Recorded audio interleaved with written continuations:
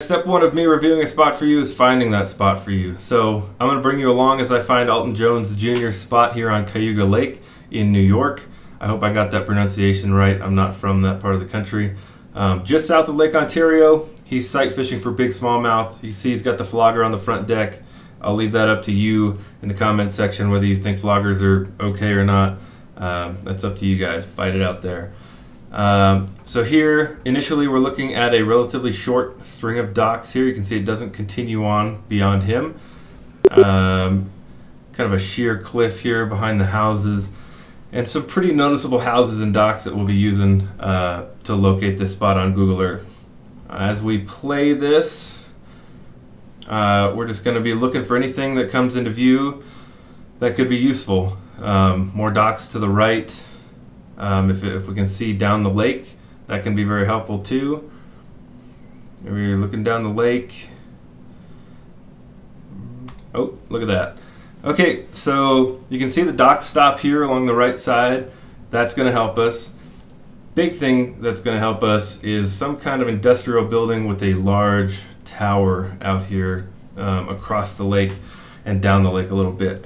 So uh, that's going to be our starting point and uh, let's see if we can find that.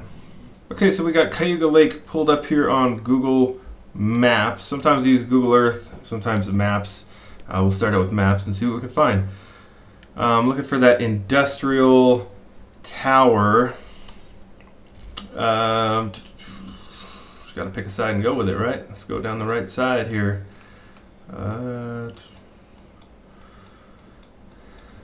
Going down the bank, that tower was right on the bank. Not a lot around it either, so anytime I'm seeing all these houses, marinas, we're going right past it. Anything like this that stands out, you zoom in, check it. Nope, keep going.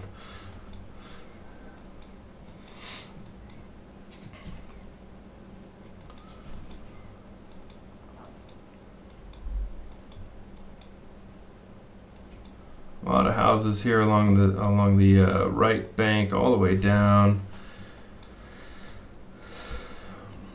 Still see houses and docks all the way down. Now it looks like they're starting to stop. Oh, got it. Okay, so the name's kind of funny. If you're following along, uh, Milliken Station, Ben didn't appreciate the last video I made, uh, even though I nailed it, but uh, he didn't appreciate it. But it's kind of ironic. This is the spot we're looking for. Uh, I didn't know it was uh, called Milliken Station. So we have found the spot, meaning we're going to jump across the lake and go up the lake just a little bit. And somewhere in this stretch is where Alton Jones Jr. was fishing. So on to the next part of being more specific about looking for, and we're kind of fortunate it's not a giant lake, but uh, now we have to identify the actual docks and houses he was fishing off of. So that's step two. So this one's going to be interesting, and I'm glad you guys can come along and watch it. The big thing here is, from this vantage point, this view, these docks are hard to distinguish, right? We can't really tell exactly what shape they are, how far they stick out.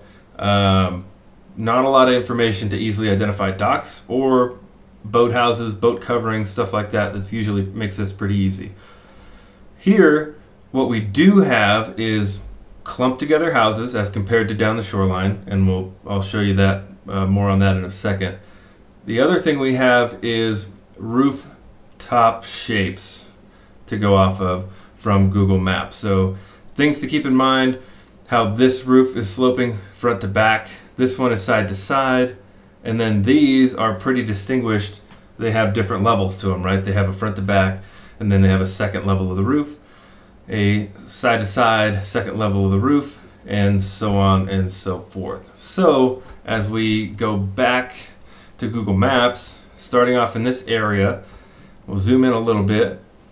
And again, easy to tell that these houses here are just spread too far apart, right? Too far apart. We're starting to get some tight ones here. So now we'll zoom in and we're looking for that string of houses of rooftop shapes, right? So what we've got here is, let's see, these might be it. So we've got, yep, this is it. All right, so I'm going to show you right here what I'm talking about, and then we'll go back to the other, other picture I just showed you and confirm it. So we've got the side to side, second level, front to back, second level, side to side, and small front to back. So we know without a doubt, right, this is our spot. We'll come back here, and this is what we were just looking at is uh, side to side, second level, front to back, second level, side to side, and front to back on a uh, short house. So we've got the spot. Let's find it on our Navionics and talk about why we think he's fishing here uh, for these bedding uh, smallmouth. Best I can make out is right here. Um, just a spot that stands out. A little bit of a shallow extension um, out onto the uh, out onto the drop. And just a side note, Cayuga Lake out here reaching almost 400 feet plus deep is wild. Uh, just wild to me. Um, but so something like this, the real reason I think we all know he's sight fishing these big smallmouth on docks, right? He's that extra cover that this lake has a lot of around the shoreline is those docks. Um, when he catches it, and you'll you'll hear it in the audio when I play the uh, when I play the video for you. When he catches it, it runs out and he says, "Stay out of the grass, stay out of the grass." So you can see submerged vegetation here on the Navionics. Um, he's fishing inside that grass, up into the, up next to or under the dock, sight fishing, finding these fish with that flogger, and he's got thousands of docks on this lake to choose from. Right? You have to narrow it down somehow. You don't have all day, every day to check every single dock. So what he's probably doing is trying to find these high percentage areas where he thinks the bigger fish will be and looking for things like this that just a change in the contour that's up there inside the grass line near some docks. Probably comes up here, floggers a few docks, and then finds another high percentage area on the lake.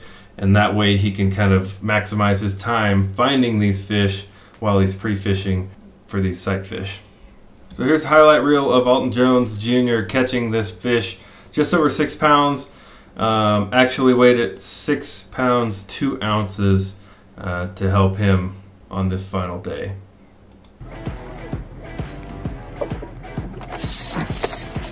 That's a big one. That's a really big one. This one's way smaller than the other one that was there too. This is a five pounder. Out of that grass.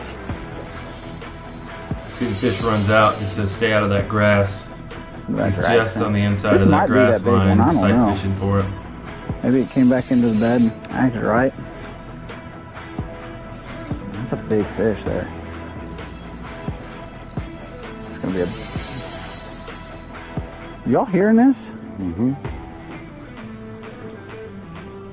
I don't know how big this one is. It ain't small though. See the bait right That's there. That's a monster. It's not a drop shot, probably some type of Ned rig, Dude, tiny little swim bait type bait. size of that. Um, that he's pounder. just bouncing around down there on the bottom. Trying to piss these two fish off. ounces. Dude, there's one that dwarfs this fish. I'm gonna let her go. So There you have it. goodbye for us. You have to say it, baby. Us you wanna try, baby. I know you can,